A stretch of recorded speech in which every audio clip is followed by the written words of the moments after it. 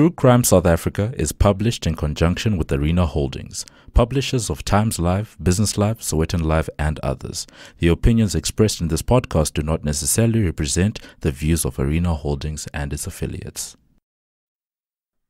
Welcome to True Crime South Africa.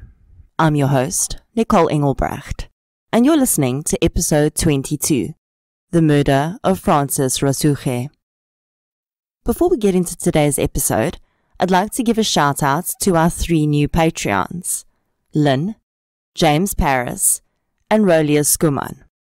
You three are absolute superstars, and I really appreciate your support, as well as the ongoing support of all of our existing Patreon supporters.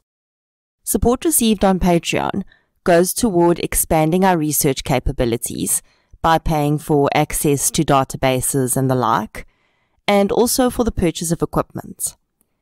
If you prefer a once off payment method, we also have a PayPal account, which can be accessed at paypal.me forward slash truecrime I'll leave both links in the show notes. I decided to cover today's case because it's not only another sad example of domestic violence in our country, but it's also a very interesting case from a legal perspective, as it involved what is referred to as a nobody murder conviction.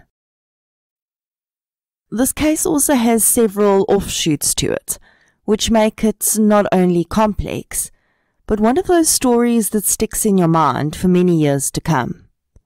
So let's get into episode 22 The Murder of Frances Rasuge. The following episode may contain sensitive material, including descriptions of violence, sexual assault, or graphic descriptions of injuries to victims. If you feel you may be triggered by such material, please consider this before accessing our content. To access trauma counseling or services, please see the helpline information on our show notes. Frances Nyadi Rasuge was described as a jovial person by her father William Rasuge. Even as an adult, she continued to live with her parents and siblings in their home in Hammanskraal. Frances lived with her twin sister, Wilhelmina, brother Opa, sister Nene, and mother. As her adult life progressed and she occasionally became involved in relationships, she would spend time at the home of a boyfriend but always maintained her parental home as her main place of residence. In reading the testimony that her family members would later give about her and the events that would unfold, it is very clear that the Rasuge family was extremely close. The whereabouts of its members were always known to the others, and while as adults the Rasuge children may have understandably not shared everything about their private lives with their parents, they certainly made their parents aware of the major events in their lives. After her studies, Frances enrolled with the SAPS and was a police constable at the time of her disappearance. Of her work ethic, Frances's superiors described her as extremely loyal and dedicated, and very serious about the importance of her job. It would be this dedication that would ring alarm bells for her family and co workers on the day of her disappearance. Frances was never married, although she did have several long term relationships attempts would be made to paint her as someone who was involved in many relationships at one time. But my research doesn't indicate this. Only one of Frances's partners would ever say that she had been seeing multiple men at one time, and he would be the same man who was accused of being involved in her disappearance. William Gadifele Nkuna claims to have met Frances for the first time in May 1998. Nkuna was married and had children with his wife. He lived in Temba, which is an area adjacent to Hammanskraal, and was well known in the area. We'll get into some of Nkuna's more nefarious dealings a little later in the episode, But many would later say that Nkuna was feared in Temba, far more than he was loved. Nkuna owned his own home, but his liaisons with Frances would always be elsewhere. It is claimed that his wife was aware of his courtship of Frances, and that he had intended to make her his second wife. This is something that needs to be understood about this case, because for most, the idea of a married man seeing a young woman is taboo and considered adultery. There are still many South Africans, though, that practice polygamy or multiple marriage as part of their culture. South African law only recognizes multiple marriages for men and only under the Customary Marriage Act. So if a man wishes to take a second legal wife, he must apply to the court for the right to do so, and each case is addressed on its own merits.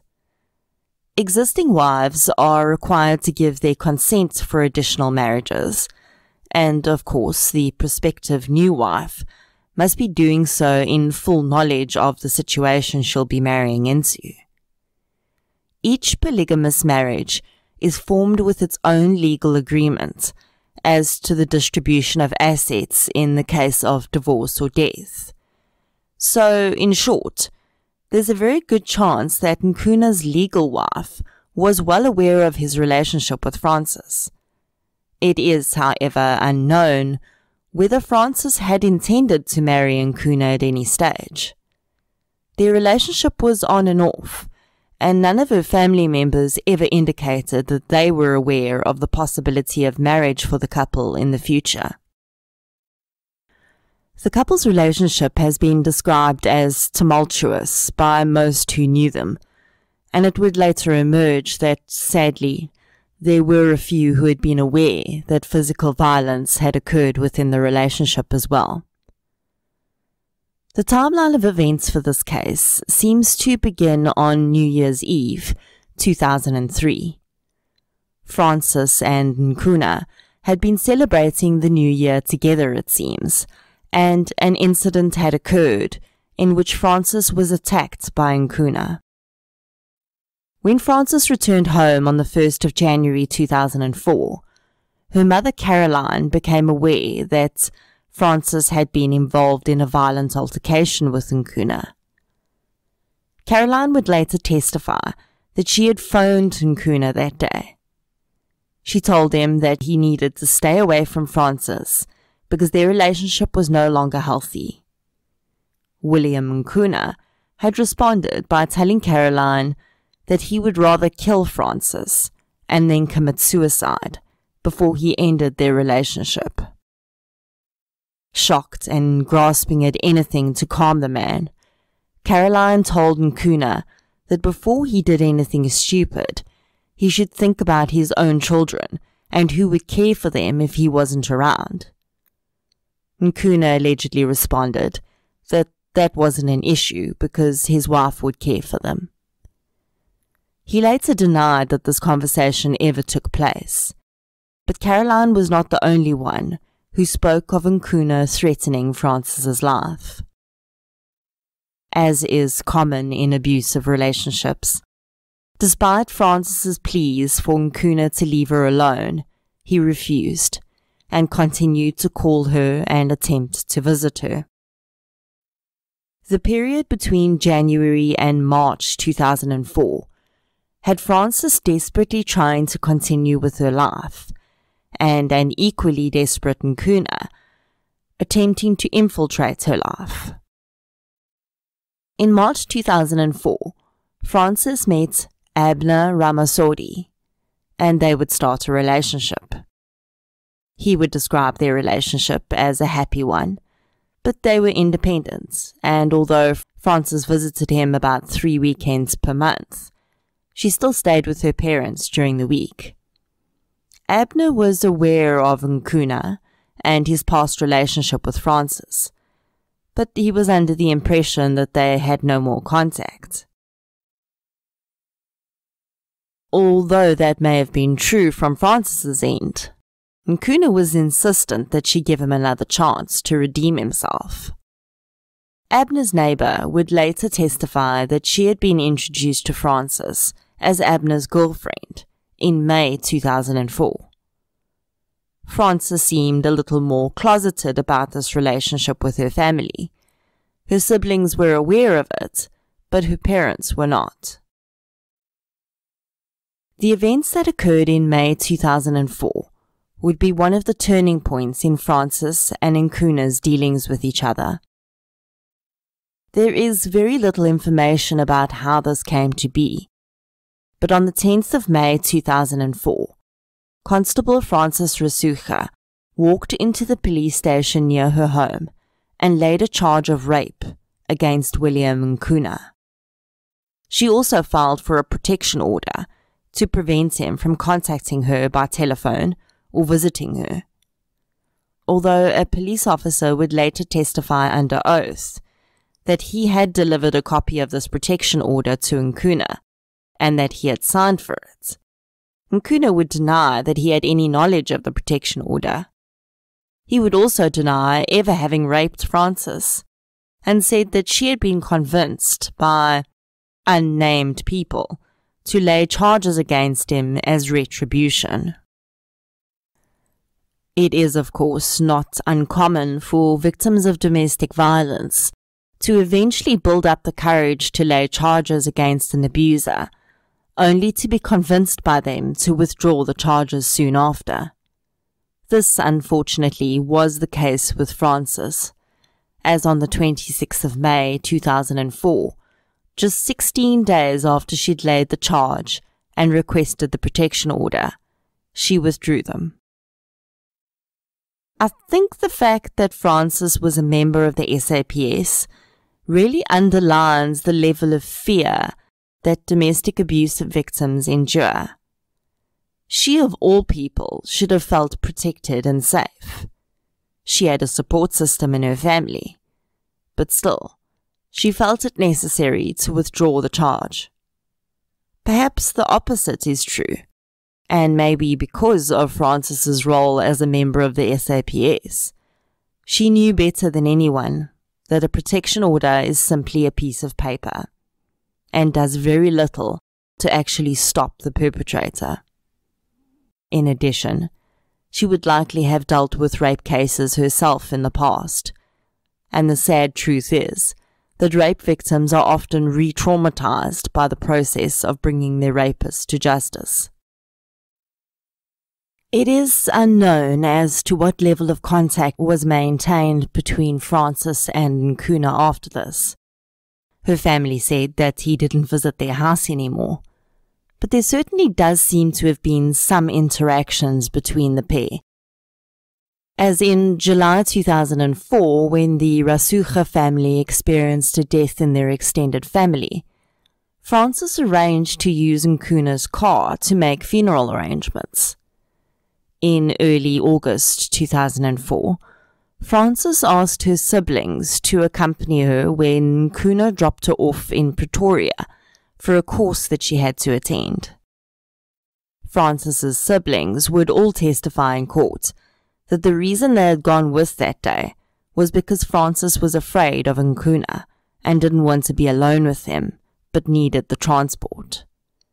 Nkuna, on the other hand, would say that this was rubbish and that they had all just come along for the ride because they had nothing else to do. Frances's relationship with Abner was still going strong, and on the 25th of August, she went to a Russell's furniture store to arrange a surprise delivery for him. She ordered two appliances and gave Abner's address for delivery. His neighbor would later confirm that she had received the appliances on their behalf, and that the last time she had seen Frances was later that day when she arrived to surprise Abner with the gifts. Abner and Frances planned to attend a funeral together that weekend for one of Abner's relatives in another town. The plan was that Frances would have her hair done the next day and then come straight to Abner's house so that they could make final preparations for their trip. Frances's siblings were also aware that these were her plans for the weekend. Frances's sister would later testify that she had seen William Nkuna outside their house on the 26th of August. She had been annoyed at his presence because of his violence towards her sister. She was also surprised to see him there because he hadn't been at the house since May of that year. On Friday, the 27th of August 2004, Frances got ready to go to the hair salon. She realized that her phone was not charged, so she plugged it in and asked her brother if she could use his cell phone for a few hours. She would then pop back home to swap out the phones again after her hair appointment and then head off to Abner's house. This would never happen. And the next time Frances's brother would see his cell phone, it would be bagged as evidence. Desmond Mkonto owned Le Des Hair Salon in Temba, and Frances had been a long-time customer of his. He described her as a kind and polite woman, but noted that she didn't engage with the gossip and personal sharing that went on in the salon, like most of his other customers did. He would later testify that Frances had indeed come to his salon on the 27th of August, and that he had straightened and styled her hair. She told him that she was going to a funeral with her boyfriend. When it came time to pay, Frances said that she'd have to call someone to bring her the balance of the money that she owed him. Desmond was familiar with William Nkuna and recognized him as the man who had come to his salon that day and contributed money towards Frances's hair appointment. Nkuna had asked Frances where she was headed, and she said she just needed to get to the taxi rank at a nearby ShopRite. Nkuna offered to give her a lift, and she agreed. This was the last time that Desmond ever saw his long-time customer.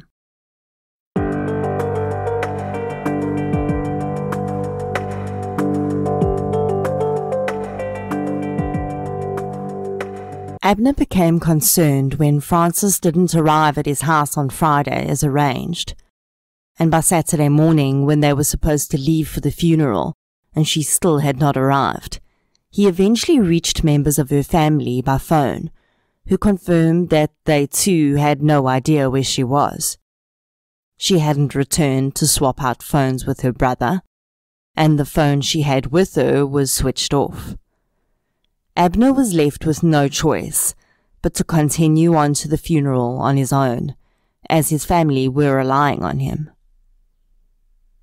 Frances Rasuge was 27 years old at this time, an adult, and it wasn't uncommon for her to spend nights away from home. So the fact that her family couldn't contact her on Saturday, the 28th of August, was not strange and didn't raise any alarms on the afternoon of Sunday, the 29th of August, when Frances's co-workers arrived to pick her up for a shift and found that she was not home. Both they and the Rasuge family knew something was very wrong. Frances had never missed a shift without advising her superior beforehand. While her co-workers stood in the house, Frances's father phoned William Nkuna. He said that he had no idea where Frances was, and that the last time he had seen her was on Friday, when he collected her from the salon and dropped her off at the taxi rank at ShopRite. He had no idea where she'd gone after that. A missing persons case was immediately opened, and police interviewed Desmond Mkonto, the salon owner. He told them that Frances had indeed left with Nkuna. Police traced activity on Frances's brother's phone, which she'd been using, to Hammanskraal Town Centre. The person who was in possession of the phone claimed that it had been sold to him on the previous day. When shown a photograph of William Nkuna, he identified him as the man who had sold him the phone. On the 30th of August, William Nkuna was advised that he was a suspect in the disappearance of Frances Rasuge. Despite Nkuna constantly declaring his undying love for Frances, he never once contacted her family to find out if there was any new information about her whereabouts, nor did he offer any assistance to the police in the investigation. When questioned about the cell phone that he had sold in town, Nkuna claimed that Frances had given him the phone to use because his own phone wasn't working. He claimed that the phone had been stolen from him by the person who claimed he had purchased it. The police soon proved this to be untrue by seizing Nkuna's own cell phone and proving that at the time that he had Frances's phone in his possession, he had made 89 calls from his own number. It also makes no sense that Frances would go away for the weekend and leave herself without any means of contact. Frances's bank records were checked, and it was ascertained that money had been withdrawn from her account at ATMs in the area after the 27th of August. Several withdrawals were made, totaling 1,200 Rand police checked the CCTV footage at these ATMs for the times of the transactions. It was not Frances making the withdrawals. It was difficult to identify the person's face, but it was a black male whose build was consistent with William Nkuna. The man was wearing quite a distinctive shirt, with large black and white stripes and a white collar. When questioned, Nkuna admitted that he knew Frances's PIN number, but denied that it was him that had drawn money from her account after her disappearance. On the 3rd of September, the case took another strange turn when William Nkuna opened a case of conspiracy to commit murder. In his statement, he claimed that he had been advised that Frances along with one of her SAPS co-workers, was planning a hit on him and had hired a hitman to kill him. Although he would later remove Frances's name from the charge, it seems that perhaps William Nkuna was already building a defense. On the 6th of September, a search warrant was carried out on Nkuna's car. In the boot on the boot mat police found traces of blood. Although an attempt had been made to clean the blood, police were still able to retrieve a sample and tested it. It was confirmed as belonging to Frances Rasuge. With no sign of Frances and her victimology showing that she was not in the habit of disappearing, William Nkuna was charged with causing her disappearance and arrested. Nkuna's explanation for the blood on his boot mat was that he and Frances had occasionally taken the mat out to have sex on, and on one occasion she had been menstruating and had bled onto the mat. He had noticed it and tried to clean it off, simply because he thought it looked dirty, and not to hide it.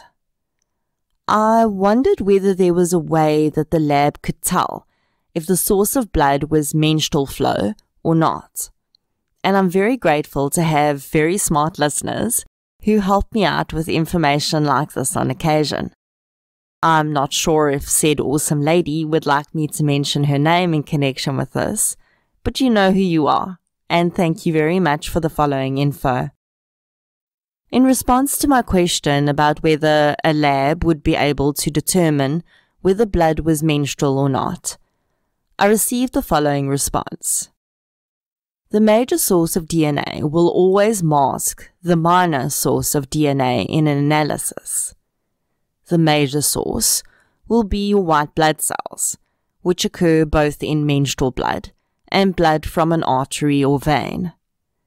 In the case of menstrual blood, there would also be vaginal epithelial cells present, which in that case would present as the minor source. Because the major source is still the white blood cells, though, that will mask any presence of epithelial cells. So a human blood swab would not be able to differentiate the two. If the blood had not been cleaned, blood spatter analysis may have been able to tell the difference. Although it could not be determined whether the blood source was indeed from an injury or whether it was really from menstrual bleeding. The presence of the blood, its location, combined with several other pieces of circumstantial evidence, including the fact that Frances had laid a rape charge against Nkuna, taken out a protection order against him, and he was the last person to see her before she went missing, made a pretty compelling case against him. I think that Nkuna's arrest at this time was the police's attempt to get him to admit what he had done with Frances's body because no body murder cases are notoriously difficult to prosecute. Because you don't only have to prove that the person you've charged has committed the crime, you first have to prove that the person is actually dead, without having a body to prove it. With children, this is a little bit easier, because if they aren't in the care of the person or people who would be assigned to their care, there's very little chance that they wandered off and started a new life of their own accord. With adults, however, this gets a little bit more difficult. Adults are under no legal obligation to report their whereabouts to anyone. They can come and go as they please, and although it's rare, it is possible for an adult to completely drop off the map and start a new life somewhere else. And therein, lays the no body prosecution dilemma. Physical evidence is helpful. If you find a pool of blood that is DNA linked to a missing person, and you can have an expert testify that no human being could survive that amount of blood loss, the leap from missing to dead is not that far. Unfortunately, a killer who is able to dispose of a body so well that it cannot be recovered is also probably not going to leave that amount of physical evidence behind. The blood found in this case was not sufficient to have caused loss of life. The fact that it was found in the boot of a car is a lot more suspect, as that would be a natural place to expect a body to have been transported. But Nkuna had an answer for that, which couldn't really be disputed in isolation by the evidence. If in a no body case, physical evidence is found in a place where it should not be by the natural course of an ordinary action, that makes it a lot easier to point to murder. Say, for instance, Frances's blood had been found on a hammer or on the inside of Nkuna's wallet. It would be far more difficult for him to claim that the blood had been from a source other than an injury. He could try it, but it's unlikely that it would fly in court. Victimology is one of the most important parts of securing a no body murder conviction. If the victim in question is reliable, loyal, lives a low risk lifestyle, and has no history of disappearing on their own, like Frances, then it's much easier to show if they go missing that that pattern of behavior is out of character. Unfortunately, this is the reason that people who live a high risk lifestyle, like sex workers, drug addicts, or transients, would be extremely difficult victims to prove without their body being found. The states had a pretty decent case against William Nkuna but it didn't have everything it needed. The state needed something to prove that Nkuna had been well aware that Frances Rasuge was never coming back.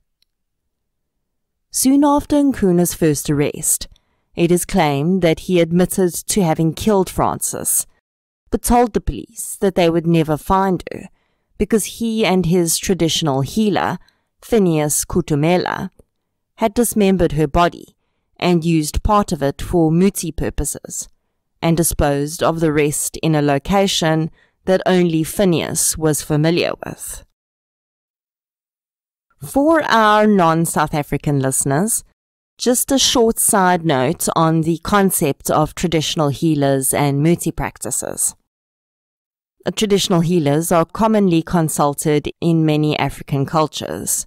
It is a practice that is as old as recorded African history, and probably older than that. Traditional healers, in their base sense, use plants, herbs, and sometimes animal body parts to help heal their clients both physically and spiritually.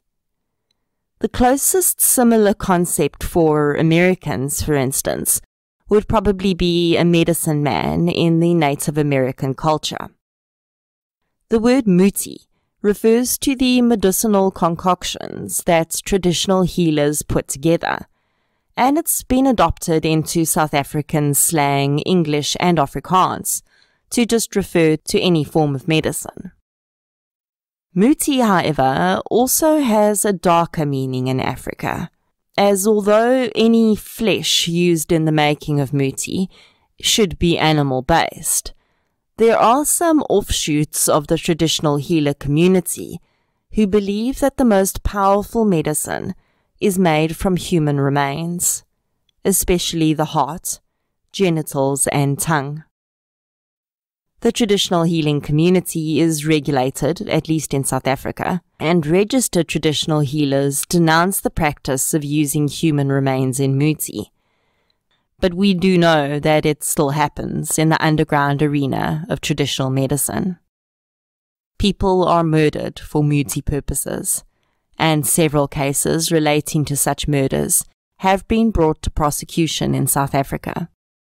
If you want more information on muti murders, the podcast Profiler Africa has an excellent episode on the phenomenon. Nkuna would later deny ever having made this accusation.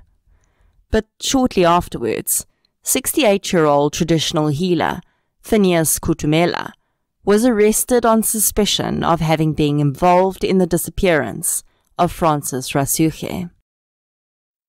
Nkuna claimed that he and Phineas had a decades long relationship and made allegations that they had carried out other crimes together in the past. Phineas denied being as close to Nkuna as the man claimed. He admitted that Nkuna was one of his clients, but said that he was no closer to him than any of his other clients.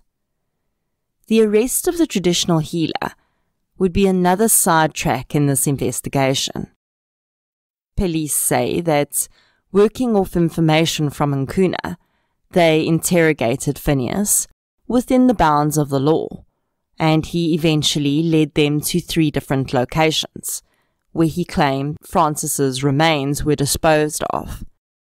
Extensive searches of these areas unearthed no evidence that human remains had ever been there. Police also said that Phineas had handed over a jar which he said contained the cremated remains of part of Frances Rasuge's body. Lab analysis, however, showed that the ashes were of a vulture. All these false admissions seem to stem from one thing, though. Phineas Kutumela would eventually take the Minister of Police to court and successfully sue the state for 500,000 rand in damages. Why? Because he was tortured in order to provide the statements he did. Phineas was able to prove that police had beaten, electrocuted, and tortured him until he gave them the information about Frances's whereabouts. The state prosecutor would later publicly announce that Phineas Kutumela was in no way linked to the disappearance of Frances Rasuge. Let me be clear here. Although the state was found guilty of having used less than standard interrogation techniques against Phineas, I don't think this happens all the time. Police in any country take a strike against one of their own extremely seriously, and with good reason. There is a camaraderie that forms between people who put their lives on the line on a daily basis that I don't think the average man on the street can understand. And I think that the police's actions against Phineas were a symptom of that. It was William Nkuna who told them that the man was involved in the first place. It wasn't something they'd come up with themselves.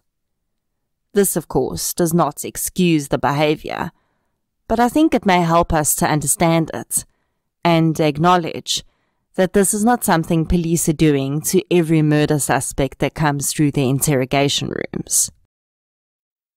With no body and a less than watertight case, the state had no choice but to drop the charges against William Nkuna on the 3rd of March 2005.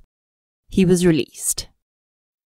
The police then started trying to find anything they could to get him back in jail, and within weeks of his release, he was charged with fraud for using Frances's ATM card after her disappearance and without her consent.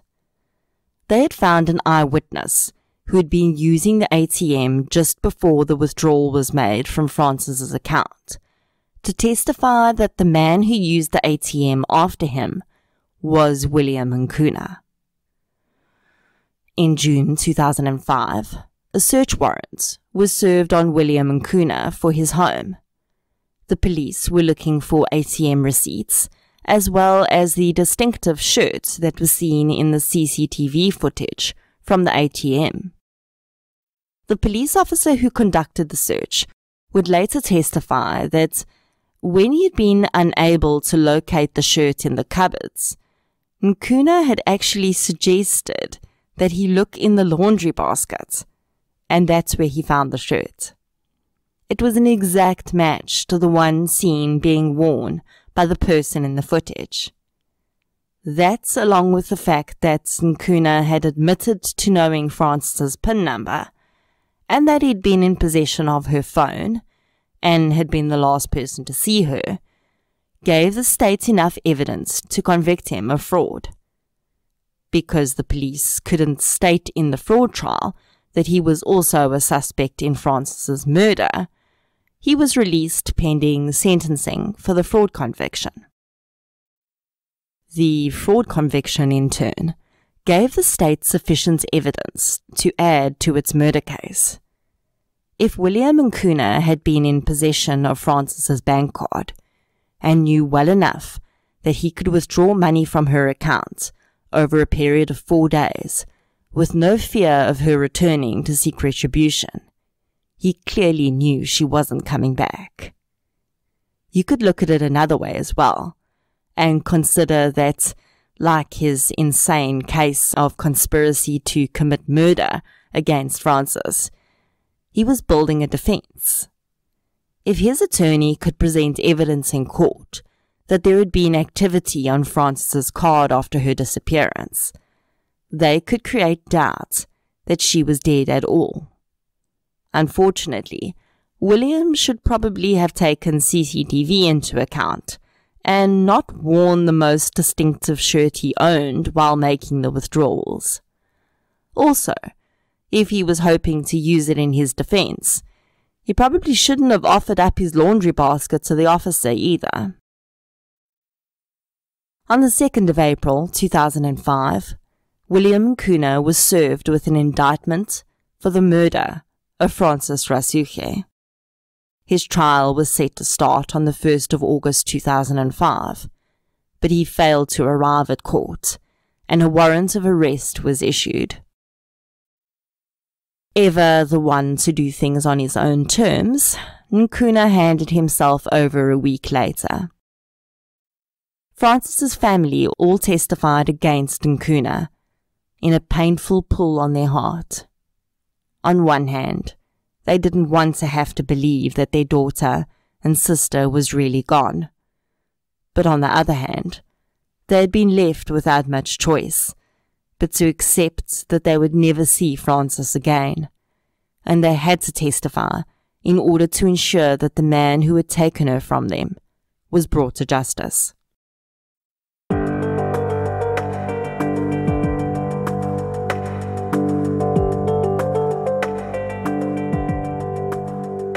William Nkuna's murder trial lasted just 10 days, and on the 10th of October 2005, he was found guilty of the murder of Frances Rasuge and given a life sentence.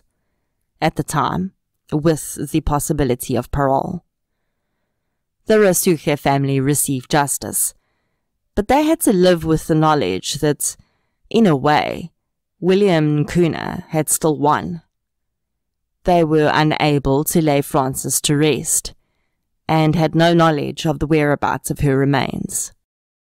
A few weeks after William Nkuna was sentenced, a man called David Cornelius who claimed to be a friend of Nkuna's, came forward saying that he knew where Frances was buried and led police to a grave. The body in the grave was exhumed, but turned out to be a body of a much older woman, and she had been killed long before Frances. In 2007, working on a tip, the SAPS dug up the entire garage area of William Nkuna's property, where his wife and children still lived. They also brought in cadaver dogs to search the property and found nothing. In 2012, William Nkuna's wife decided to sell the property in Temba, possibly having had enough of the constant rumours and the memories that remained in the house. The new owners started renovations almost immediately, and construction crews broke through two slabs of concrete, which had been laid underground in the front yard, seemingly serving no purpose. Between the two slabs, the construction crew uncovered human skeletal remains. Near hand bones lay pieces of duct tape indicating that the person had been bound when they were laid in their makeshift grave. The SAPS kept the recovery under wraps and managed to process DNA results within a week, which confirmed that they had eventually uncovered the remains of Constable Frances Rasuge. A press conference was held, and the news was released to the media. Unfortunately, in their haste, the SAPS had omitted a very important step. Perhaps the most important step. The Rasuge family found out that Frances's remains had been found when a journalist contacted them for comment after the press conference. The SAPS had never advised the family. It was allegedly a miscommunication. The department who handled the press release had believed that Hammanskraal police were already advising the family, but that had never happened. Constable Frances Rasuge was laid to rest in an official police funeral in that same year. And the ANC Women's League proposed a motion to have Nkuna's option to apply for parole removed from his sentence. I was unable to find any information about whether they were successful with this motion, but the discovery of the remains proves that William Nkuna was not only a murderer, but he took great pleasure from knowing that, even after her death, he was still controlling Frances and her family by withholding her remains. Shortly after Frances's remains were discovered at Nkuna's property, the SAPS returned there and dug up the entire yard. This time, they were looking for other bodies. You heard that correctly. Frances's case was not the first time that William Nkuna had been linked to a disappearance. In 2001, a Limpopo based businessman called Ruben Kabini had left his home telling his family that he was going to visit William Nkuna. He was never seen again. His vehicle was found a few weeks after his disappearance, abandoned near a veld area called Bosplaas. Bosplaas was one of the areas that traditional healer Phineas Kutumela had led police to in their aimless search for Frances's body. It is also alleged that Ruben's cell phone was found in the possession of one of Frances's sisters, who said that Nkuna had given it to her as a present. Ruben had a distinctive gold tooth, and this, SAPS investigators said, was what they would be looking for, in particular to identify the presence of his remains in Nkuna's yard. Another person who disappeared and was linked to Nkuna was a young woman called Helen. Not much information is available about her, but she was allegedly in a romantic relationship with Nkuna, and just like Frances, was last seen with him. Then, of course, we must consider the body of the older lady that Nkuna's friend had led police to. He thought it was Frances's body, and he must have thought that for a reason. So, how was Nkuna linked to that murder? And who was that victim? Police didn't recover any further remains on the property of William Nkuna, but they did start to receive an avalanche of information about other cases he could have been involved in. The community, who up until that point seemed under a spell of terror from Nkuna, had started to talk. It was alleged that Nkuna was a hired hitman for local taxi bosses. Another family came forward, asking for their son's death to be reinvestigated too. In 2005, shortly after Nkuna was sentenced, one of the state's star witnesses very suddenly passed away. Desmond Mkonto who you will recall was the owner of the hair salon that Frances had visited on the day of her death, was an important witness in the trial, as he placed Frances with Nkuna on that day. Just days after Nkuna was sentenced, Desmond, otherwise healthy, suddenly began to feel ill. He told his mother that he was experiencing severe stomach pains and had lost feeling in his hands and feet. He was hospitalized, but doctors were stumped as to his condition, and within days, he was dead.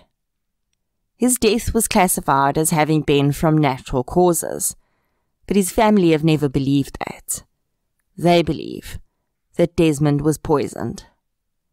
Of course, there's no proof that his death was in any way linked to Nkuna, but the people of Temba put nothing past him. In 2015, seemingly enjoying the reinvigorated attention, William Nkuna made a statement to the press through his lawyer.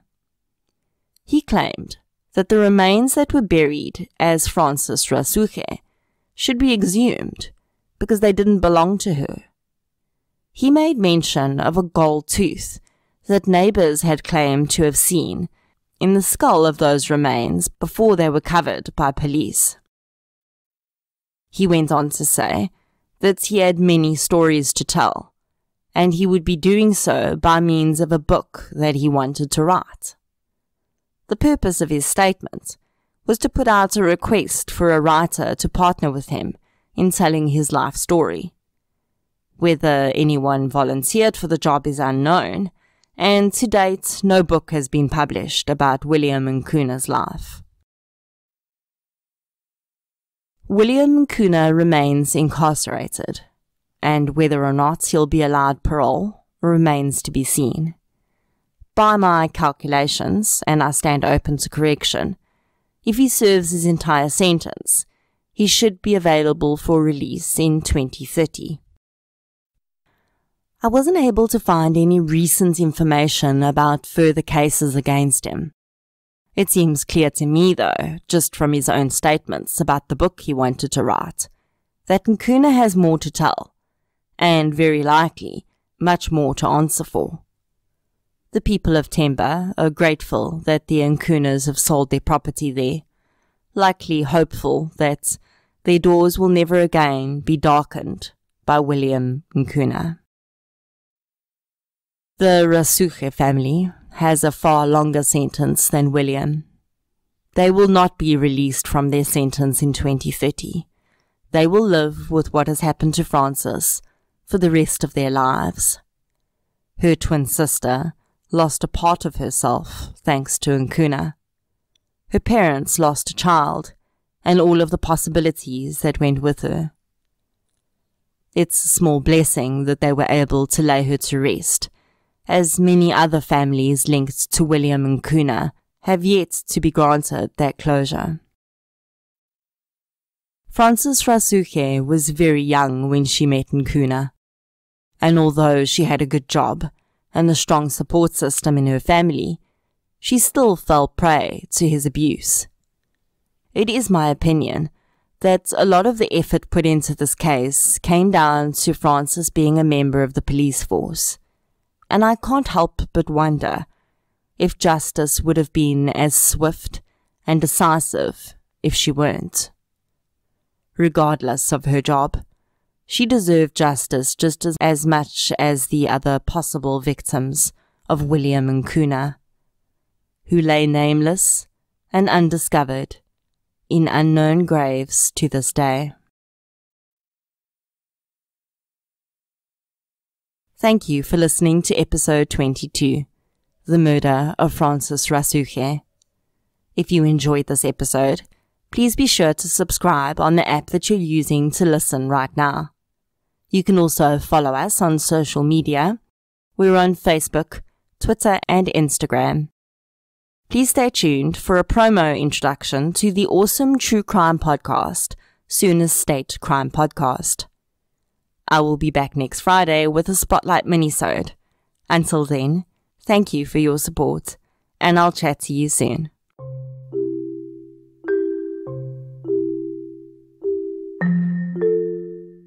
Howdy, all you True Crime South Africa listeners. Cece here, and I'm the host of the Sooner State True Crime Podcast. We cover cases based in my wonderful home state of Oklahoma, and since the term Sooner actually refers to the state's very first true crime, since they cheated in the land run, Oklahoma began as a crime state. So check out Sooner State True Crime in most podcast apps, or check out our website anchor.fm backslash crime state. New episodes are released twice a month, so come away with me to Sooner State True Crime.